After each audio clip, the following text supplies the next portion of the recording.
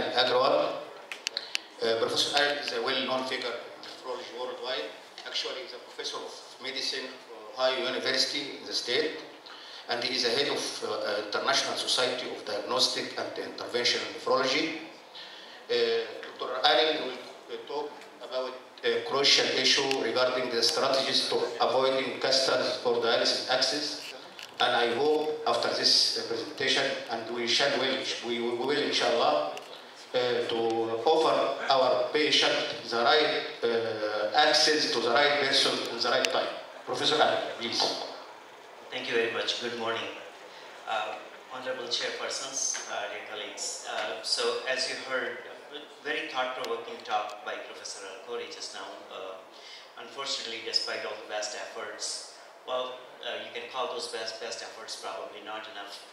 We still have very high incidence of ESRD and uh, I think it would be very important to uh, understand how you can get a good vascular access at the start of dialysis. Uh, I, I, as far as I know, in Egypt, most pe people still start with catheters just like in the United States.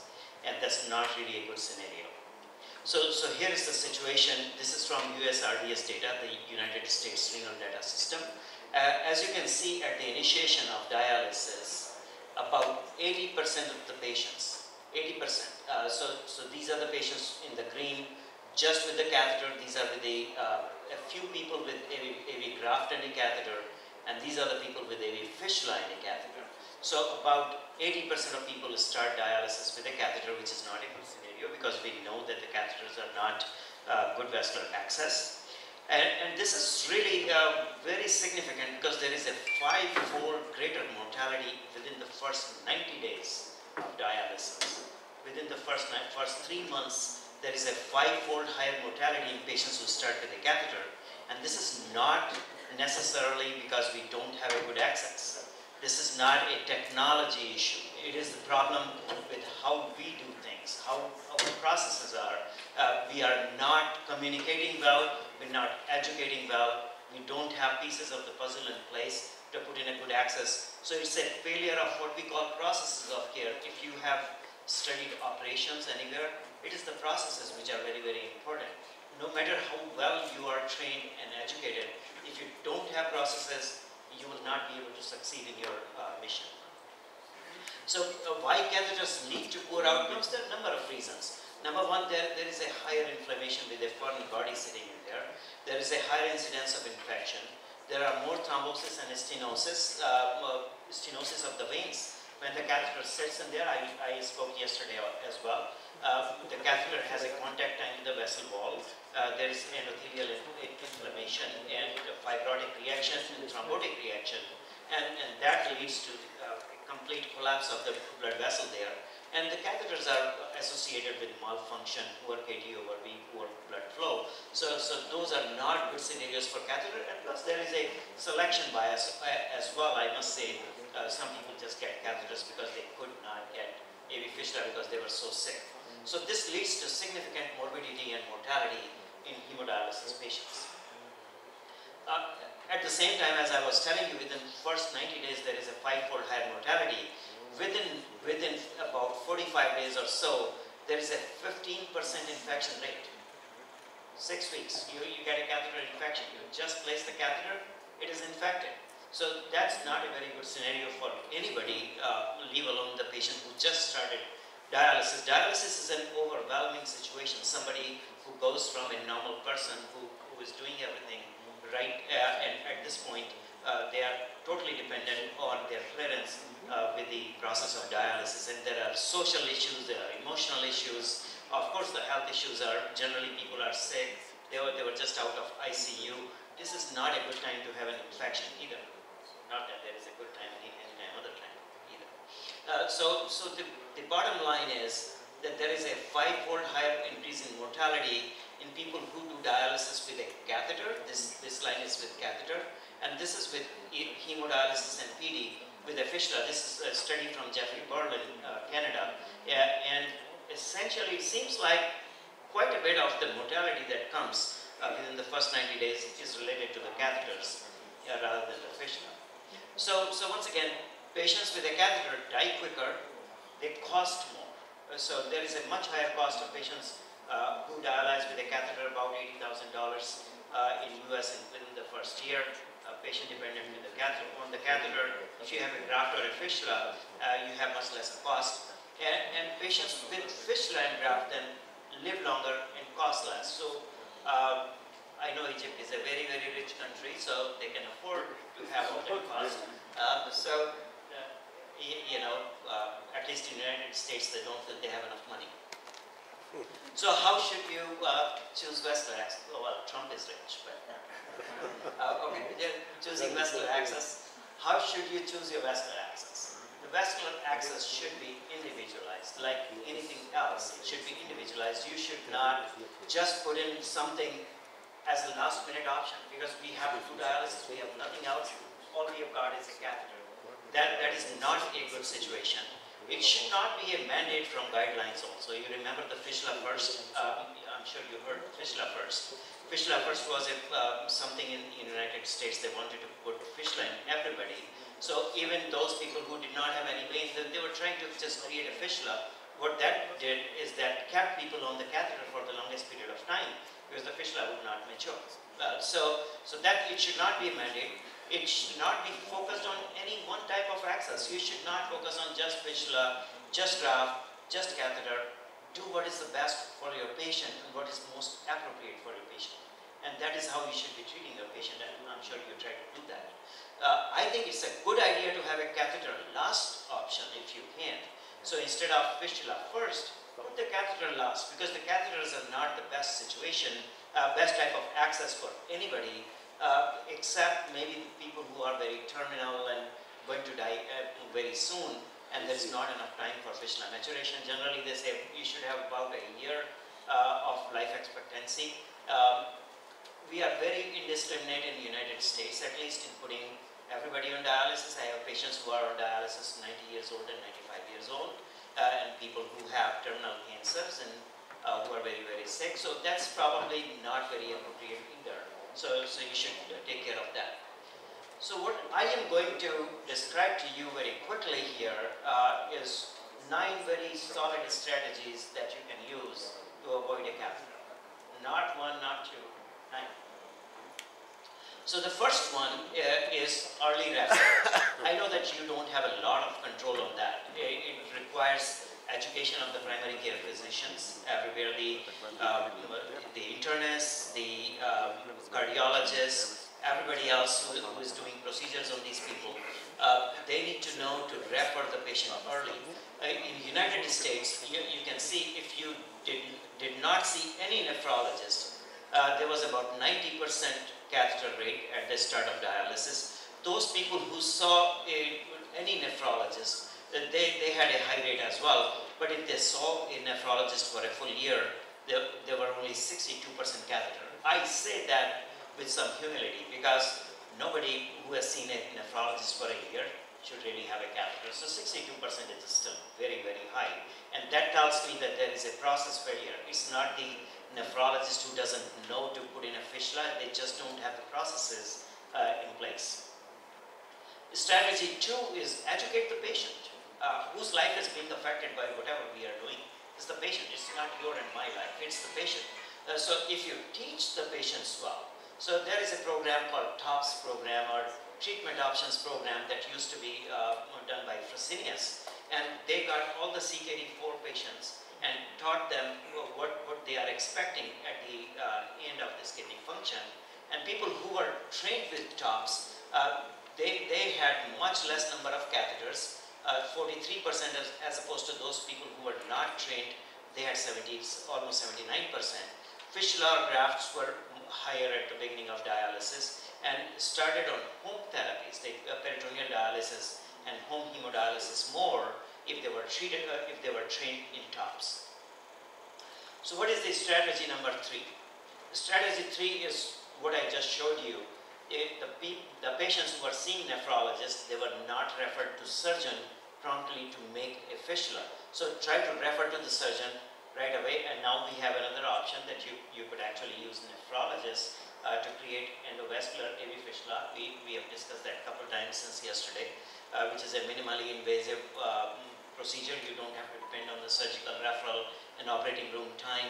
So uh, nephrologists can, when they get trained, they can put in a fistula endovascularly in the lab in, in, in 20 minutes. Uh, and it, it, does not require any anesthesia, no incisions, uh, no recovery time, and there is a very high success. Uh, there was a paper published just uh, this last month that showed two years patency of almost 90% with the endovascular AVF, which is way better than what we have ever heard. Uh, so this may be a good option. It's not for everyone, yeah, but uh, you should definitely be aware of that, that there is that possibility. So this is one type of, uh, you see this fistula. Uh, so this is, uh, you don't see any scar, there is a nice fistula. There is more than one outflow here as well. Uh, so this can be cannulated very soon. So one of the devices is the everlinQ device you have seen yesterday. Uh, the one catheter goes in the vein, one goes in the artery. They have a magnet. The, the artery and vein are close and uh, once they are aligned, the magnets stick and then you deliver radio frequency and with the radio frequency you uh, cause the fusion and instant anastomosis and you start seeing blood flow uh, going there. This was the uh, out of the seminal paper uh, by Charmaine Lok. Uh, this is the other device called the Ellipsys device. And what this one does, you first puncture the artery, then puncture the, first puncture the vein, then through the vein you go into the artery, and then put this device on it. It pulls the vein and artery together, and then you apply thermal energy, and you get fusion of the uh, uh, artery and vein, and creates instant anastomosis. Both have their own, pro, own pros and cons but both can be done by interventional nephrologists. Strategy four, very, very important. So once you start traumatizing the central veins, the central veins are not always very forgiving. They, they get a fibrotic reaction, uh, thrombosis, and there is eventually there is a bridge formation uh, between the walls, and you end up with a stenosis. And when the flow is blocked, then this is what happens to the fistula. So, so uh, as you can see, this person has a huge mega fistula here.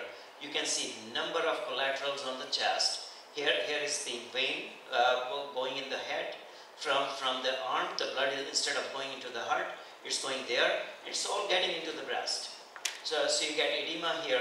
So you, you don't have to do any angiogram. You can just tell that this patient has almost complete occlusion of the central uh, vein. And this can happen very quickly, so don't think that you need a six month or a year of three catheters. This can happen with one or two catheters within uh, three months. So, so you have to be very careful when we are putting these 80, 90, 100% of uh, people uh, on dialysis with a catheter. This is what you're going to see, start seeing more. And anything you do for these, yes, there are a number of ways, uh, but this is one of my specialties uh, that I've written a lot about. Uh, there are a number of ways you can open these central veins, but eventually all those are going to stenose again. So, so there is really no treatment. If you ask me, there is really no treatment for central venous stenosis eventually. Strategy five is you salvage the fistula. So if you put the fistula, it's not maturing, uh, you can wait and wait and wait. Generally, if the, a fistula is not good at four to six weeks, you should be intervening in it. You, you, cannot, you cannot just sit and pray for it. It will never mature if it, it has not matured in four to six weeks. Uh, so, so you need to really intervene and do something about it. Uh, and that, this is an example. So this fistula was not really uh, maturing well. There was a stenosis here. and uh, this was angioplastic and the fistula was able to be salvaged. Uh, this patient did come back again and had required another um, uh, angioplasty, but, but you can salvage these if there are accessory veins, you can ligate those, you can coil those. We did a workshop this morning, we showed the coil and how, to, how uh, that you can put that, that in. Strategy number six is uh, you can create a secondary AV fistula. Secondary AV fistula because it comes after the first AV fistula or a first access. So this patient was dialyzing using a graft as you can see here, but he had a beautiful vein going in the upper arm. Uh, so if you are examining your patients on dialysis, you know that there is a vein which is already being matured by this, this graft. So there is a lot of flow going there. This vein is mature. So when, uh, when this graft started having issues, They just connected the brachial artery to this vein. They got instant fistula there. There was a very small period of catheter time, maybe less than a week, and this patient was able to use this fistula. So that you could use secondary AV fistula as a strategy. Another strategy is if you do not have time to put in a fistula, because fistula does take four to six weeks of maturation at least. So, so what you can do is you can use uh, sometimes an early, uh, you can put in a graft which, which has only uh, two weeks of maturation time, but even if you don't have two weeks, you can use these rubberized uh, grafts. So usual PTFE, if you put a needle through, you take the needle out, there is a gaping hole and you get bleeding. So, so you don't want to use it before two weeks or so, so that uh, this gets incorporated in the tissue and the tissue will stop the bleeding. Uh, but if you have to use it right away, you can, you can put in one of these rubberized grafts. There, there are a number of those, the Flexene, the Acuseal, the uh, Vectra, uh, there are a number of those. Uh, they close by, as you take the needle out, within five seconds, this thing closes. So, so you could use it potentially the next day or the next day.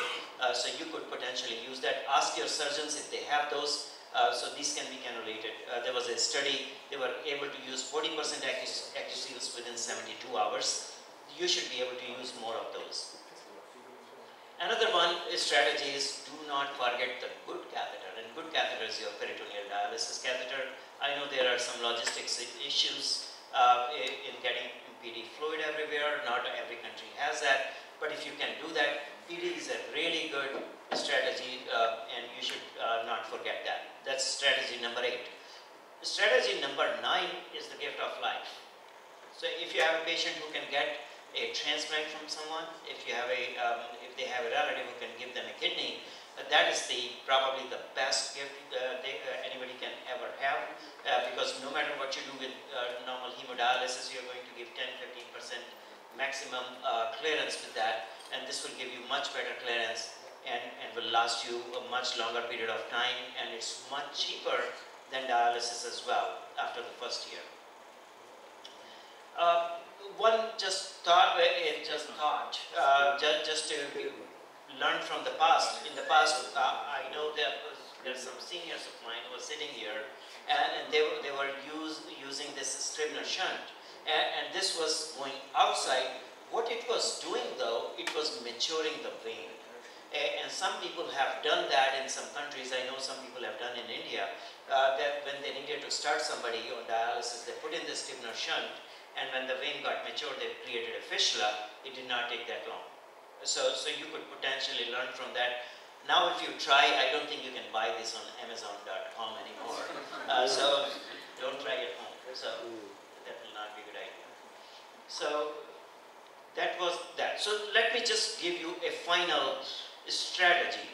How should you react to a patient who shows up for dialysis? So, so if you have a patient who needs urgent dialysis, and urgent is not like right now, but probably in one to two weeks, and, and you can evaluate, a lot of times it is in our mind that this patient needs dialysis. I have seen patients who are coming to me for placement of a catheter who are feeling just fine. Like, why do you need to start dialysis today with a catheter? Because my doctor told me, my, my creatinine is 8 you are not having any symptom, you can still get a fistula, let it mature, just wait. There's no benefit of starting dialysis early. Uh, I'm sure you all remember the IDEAL study and other studies. Uh, uh, when we start dialysis, we actually start their demise earlier. So that's not a good, good, good strategy. So if you can wait, start with a fistula. If you cannot wait, you, you can put in a PD catheter, you can start in three weeks. And if you really, uh, uh, and if you need two weeks, you can put in a standard graft. But if you want to start within one to two weeks, you can still start the rapid start PD. Um, I don't, uh, this is a PD we are used, put in a catheter, uh, wait for 72 hours or as much time as you can give and start with a slow, uh, a, a, low volume PD supine 500 cc's in, uh, inflow only. Uh, so you do that and you can get by using the PD catheter. So I have not talked about the catheter yet. and then if you need to still dialyze them within a day or two, you can put early use AV graft and you can avoid all that three to four months of a, a catheter and waiting for the fistula to mature. So there are a number of uh, ways you can do that. So what about the patient who needs dialysis right now? So I've seen, and I'm sure you have seen, BUN is uh, uh, 200 and their creatinine is uh, 20 and they they are in pulmonary edema. You, you got to do something for them. So you can start a temporary catheter or a tunneled catheter, whatever you want to do. But right away, uh, you, you can go to early use grafts. Uh, you can start urgent start PD. Uh, and later on, once, once the graft fails, you can even move on to AV fistula, but hopefully the graft will last you for a long period of time. And that's another way you can avoid three to four months of catheter. So there are a number of strategies that I have uh, shown you. But what is the ultimate strategy? What is the ultimate thing? It's all in our culture, in our mind, in our processes. And if we are prepared for it, we should use a fistula first and catheter last strategy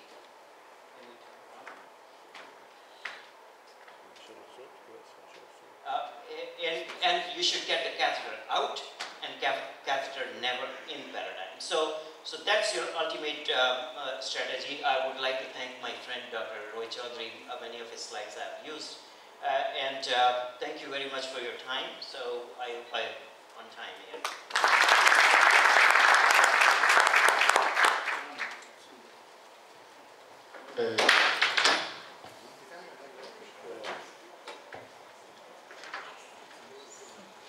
Thank you, Professor. Uh, one minute, please. Uh, regarding the uh, HERO or the hemodialysis reliable outflow, uh, it can be uh, a rescue therapy for this patient with multiple uh, venous stenosis. And how can we use it, please? Sure. so the question is about the HERO catheter. And HERO is H-E-R-O, so it's, uh, the full form is hemodialysis reliable outflow.